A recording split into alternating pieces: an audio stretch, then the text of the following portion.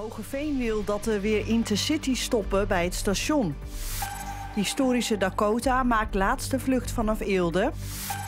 Het nieuws van deze week met onder meer de herdenking van het slavernijverleden. Een motorrijdster is vanmiddag zwaar gewond geraakt na een botsing met een auto in Ubbena. Het ging mis op de kruising van de oud weg met de Taarloze weg. Een traumahelikopter werd opgeroepen. De vrouw is per ambulance naar het ziekenhuis gebracht. De politie doet onderzoek naar de oorzaak van het ongeluk. Nee, zo willen we het niet. Dan heeft u een missie. Jazeker, wij hebben een missie uh, om uh, die trein hier te laten stoppen. Ogeveen wil intercity-station worden.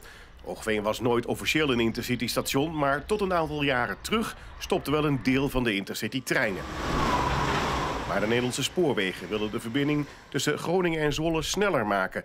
om alle aansluitingen op alle andere treinen in Zwolle en Groningen betrouwbaarder te maken.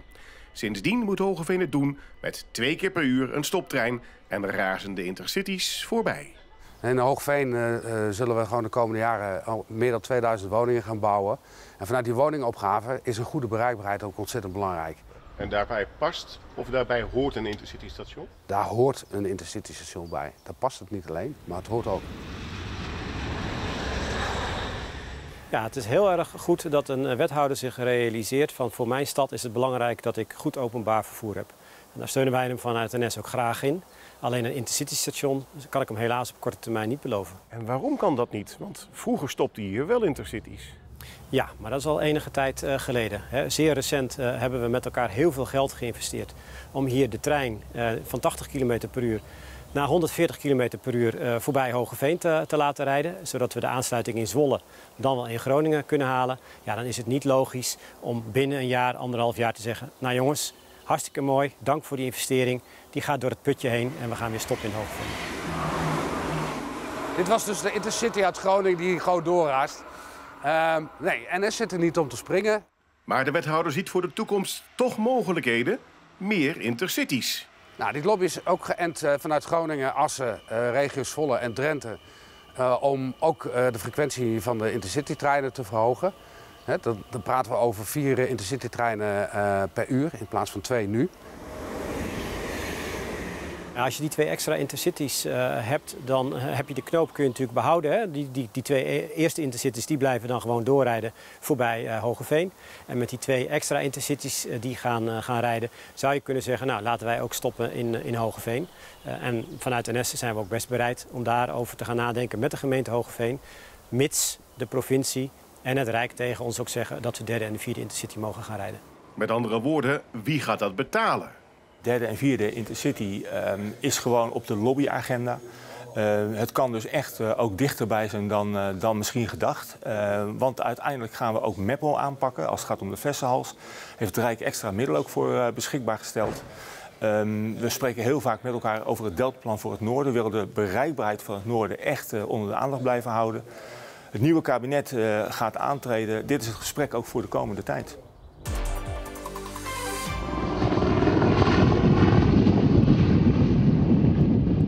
Dat was het dan. De allerlaatste keer dat het iconische Dakota-vliegtuig vanaf Groningen Airport Eelde een rondvlucht maakt.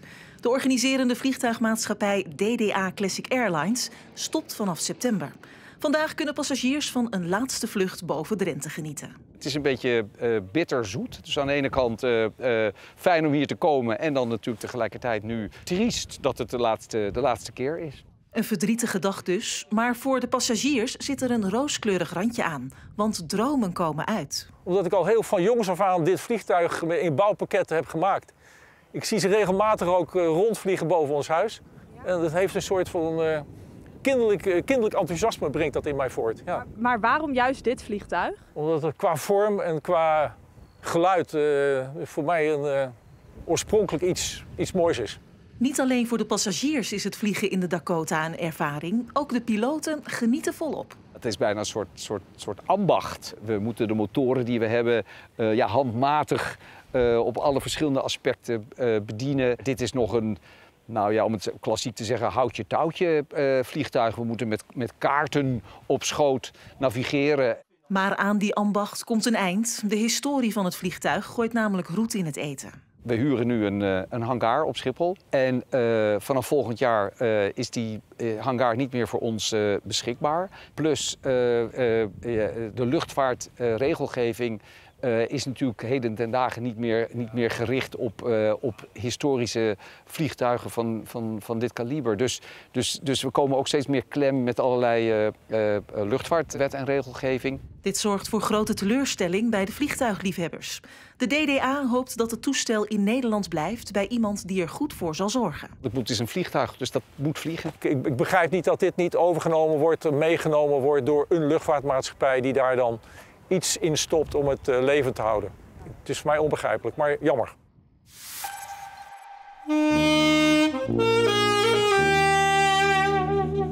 Op het provinciehuis in Assen is de afschaffing van de slavernij gevierd tijdens Kitty Kotti. Ook worden de Drentse banden met het slavernijverleden onderzocht. En daar zijn al een aantal verbanden met slavernij gevonden. Zoals in een brief van voormalig burgemeester van Assen... die ook eigenaar was van suikerplantages in Zuid-Amerika. Ze worden lusteloos, uh, drankzucht, ze willen niet, uh, niet zoveel meer werken. Uh, en dat heeft verschrikkelijke gevolgen voor de plantage-eigenaren. En nou ja, dat is wel duidelijk waarom hij dat belang heel erg naar voren schuift. Het nieuwe kabinet Schoof is beëdigd in Den Haag. Dit vinden Drenthe de belangrijkste taak van de nieuwe regering. Nou, ik denk uh, proberen toch uh, industrie hier uh, zoveel mogelijk te houden en mogelijk uit te breiden. Dat zou voor mij en de economie te stimuleren hier in Drenthe. Ik ben een enorme fietsliefhebber, dus de fietspaarden die hebben bij mij wel een beetje voorrang natuurlijk. Ik heb wel twijfeld soms als ik de samenstelling zie of ze het allemaal bij elkaar houden. En of uh, schoof het, zeg maar, dat ze in het nest blijven, allemaal. Wapengroep, inbraak geslagen. Defensie presenteert plannen om vaker te oefenen en meer materieel op te slaan in Drenthe. Definitieve locaties zijn nog niet aangewezen, maar omwonenden reageren ongerust. Die maken een bak herrie. Dat gaat uh, boven de 100, 110 decibel met pieken naar 120 decibel. Dat gaat dwars door je lijf. Een groep inwoners van Oranjedorp neemt het heft in eigen handen en is begonnen met de bouw van een mini-woonwijk in eigen dorp. De huizen die hier nu al staan en te koop staan, zijn eigenlijk veel duurder dan de huizen die hier komen. En het is voor de meesten ook niet mogelijk, voor mezelf ook niet mogelijk om dat te, eh, te betalen. En hier wel? Hier wel, ja. Er zijn de komende jaren steeds meer laadpalen voor elektrische auto's nodig in Drenthe. Sommigen kiezen er zelfs voor om een publieke laadpaal in de tuin te plaatsen. En de ambities zijn groter dan alleen het plaatsen van een laadpaal. Wat wij nog in gedachten hebben is om uh, een deel van onze, onze woning, uh, wat nu nog bijkeuken is, om dat om te bouwen tot, uh, tot werkplek of kantine. Waar de mensen die komen opladen rustig kunnen, kunnen zitten, kopje koffie kunnen pakken en eventueel naar het toilet kunnen gaan. Vanavond en vannacht is het wisselend bewolkt en daalt de temperatuur naar 12 graden.